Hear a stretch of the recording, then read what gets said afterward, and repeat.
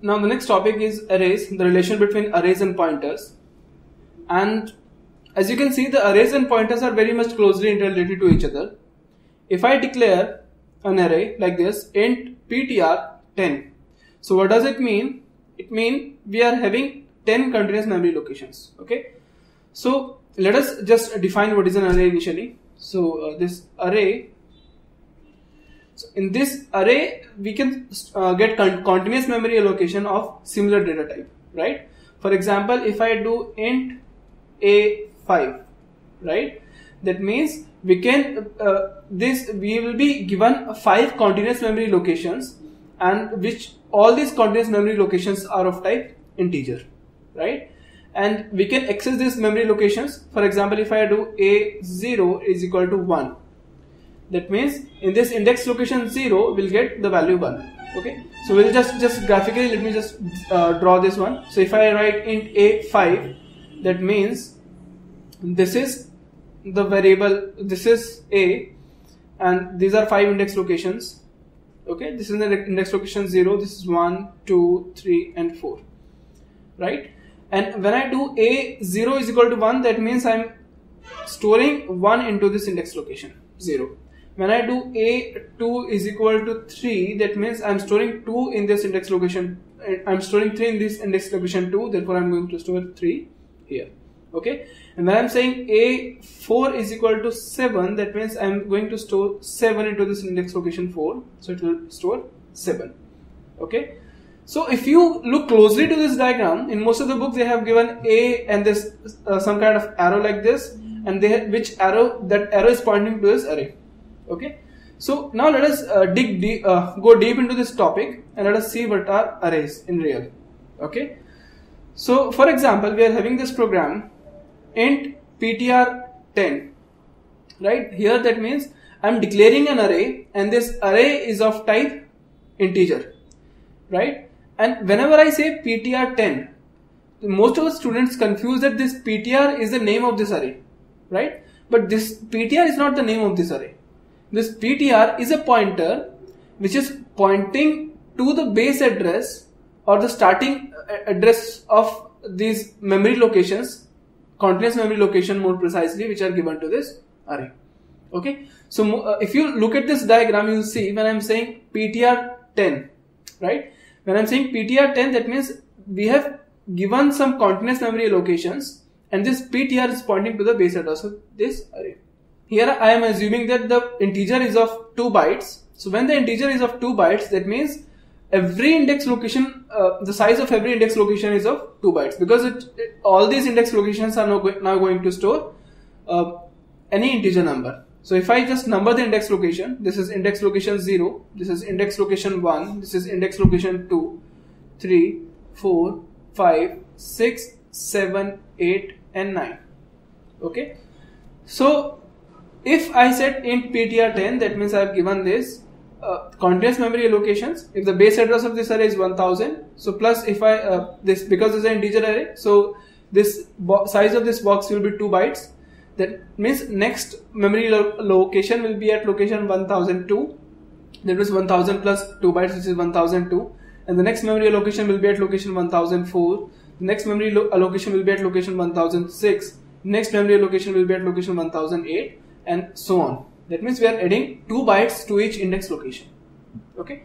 Now if the size of an integer is 4 bytes in your machine, in that case every box here, every all these index location will take 4 bytes, will consume 4 bytes. So address of this next index location will be 1004, address of this uh, next index location will be 1008 and so on. Okay. So here I assume this this uh, base set of this this array is 1000. Okay. Now let us see more examples here. So uh, in this program, I've taken an array, and this uh, the size of this array is five. That means I, I'm going to store five different integer numbers in this array. So let us suppose the numbers which are stored are 0, 9, 6, 8 and 7 so therefore these values are stored here at location 0, 9, 6, 8 and 7. This is index location 0, index location 1, 2, 3, 4 and these are pointed by this A. Okay, now if the base address of this array is 1000 then and here the size of integer is 2 bytes. Okay, so the address of this location will be 1002, the address of this location will be 1004, the address of this location will be 1006, the address of this location will be 1008 etc okay?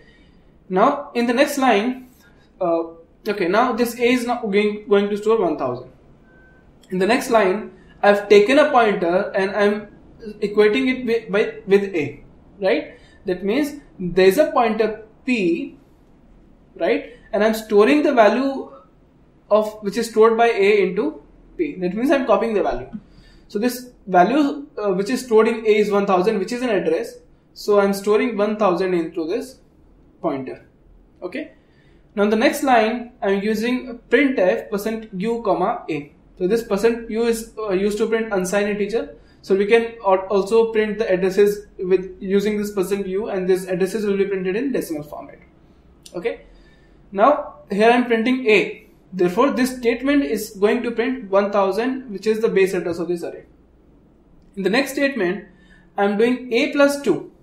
So when I am doing a plus 2, this statement is equivalent to saying a is equal to a. Uh, this statement is equivalent to saying a plus 2 into size of integer. So I just covered this topic again because I have not even covered this topic in the previous sessions. So there's something called as a scalar value. Okay. So what is scalar value? If for example we are having a character A, okay, and then we are having character pointer character star P is equal to address of A. Okay. And the size of character is of one byte obviously. So if this is A and the address of this A is 1000 and this this is P which is pointing to this array that means p is 1000 now if I do p is equal to p plus 1 right? So when I'm doing p plus 1 that means this is equivalent to p is equal uh, to p plus 1 into size of character. Okay and the size of character is 1 byte so therefore this uh, will increment as p is equal, uh, equal to p plus 1 into 1 okay? So this will increment it to 1001 location. Right? Now instead of this one if I would have written as x then the equation will become p is equal to p plus 1 uh, uh, p is equal to p plus x into size of character. Right? Now what if we are having this pointer? We are having float a comma star p is equal to address of a. Okay that means P is a pointer which is storing the address of A. So let us suppose this is A and the address is 2000 and this is the pointer P which is storing 2000. Now if I do P is equal to P plus 2, right? Then this size of this float is 4 bytes. So this equation will now become P is equal to P plus 2 into size of float because this is a scalar value. What is a scalar value? Scalar value of a pointer is given by the data type. That means what type of the pointer is. That means is is the pointer of character type, is a pointer of integer type, is a pointer of floating point type, is a pointer of double type. So we'll just take the value of uh, we'll just take the um, size of that data, data, variable. That means if it is a character uh, variable, then I'm going to uh, I'm going to do p is equal to p plus uh, whatever x into size of character then it will be multiplied by size of point uh, integer size of double number double and floating point number etc okay so that means we are going just going to increment by the size of that pointer. So here coming back to this program here we are having a plus 2 right? And the value stored by a is 1000 so when i'm printing a plus 2 that means it is now going to in, uh, increment this by 2 into size of integer right? So that is that means size of integers of when the size of integers of uh, 2 bytes therefore this is now going to print 1000 plus 2 into 2 which is equal to 1004 therefore this is now going to print 1004 okay? Now in the next line we are having but uh, in the previous one we are not actually changing the uh, value stored the, at this uh, pointer a. Okay? We are just printing that increased value.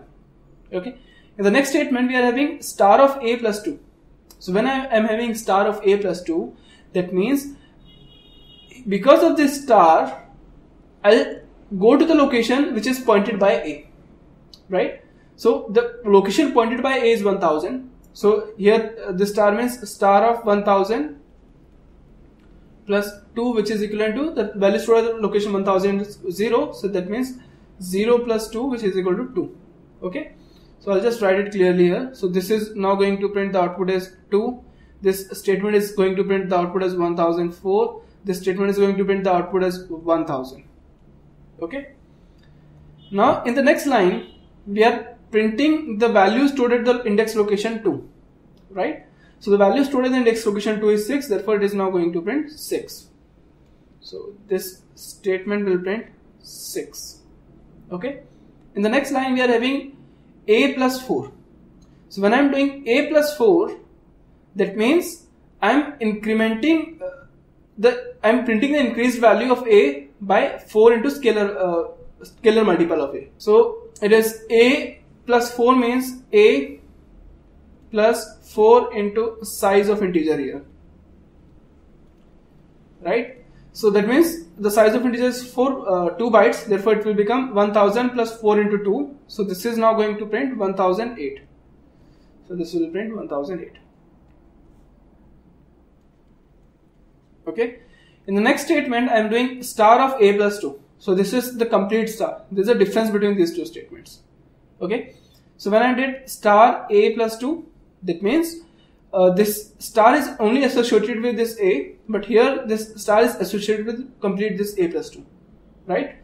So this statement is now star of 1000 plus 2 and when I'm adding 1000 uh, this 2 here that means I'm multiplying it by the size of integer. Therefore this statement will become star of 1000 plus 2 into size of integer which is 2 bytes. Therefore star of 1000 plus 4 that means star of 1004 and the value stored at the location 1004 is 6 therefore this statement is now going to print 6 okay now in the next line we are incrementing p by 2 right so for example initially p was pointing to the base address that is 1000 now when I did p is equal to p plus 2 that means I'm going to increment it by the scalar value of integer. That means the statement is equivalent to p is equal to p plus 2 into size of integer. So which is 1000 plus 2 into 2 which is 1004. Therefore p is now going to print at the location 1004. Therefore p is now point, pointing this location 1004. Okay. In the next line I am doing star p.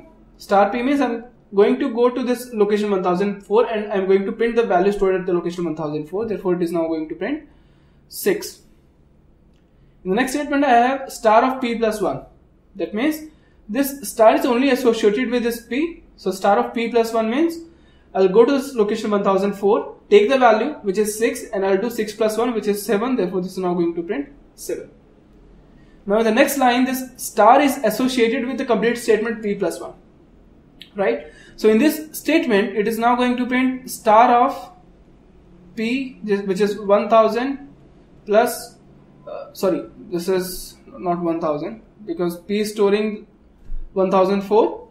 So star of uh, 1004 plus 1 into size of int, right? So this statement is now star of 1004 plus 2 which is equal to star of 1006 Therefore, we will print the value stored at the location 1006. Therefore, it will print 8.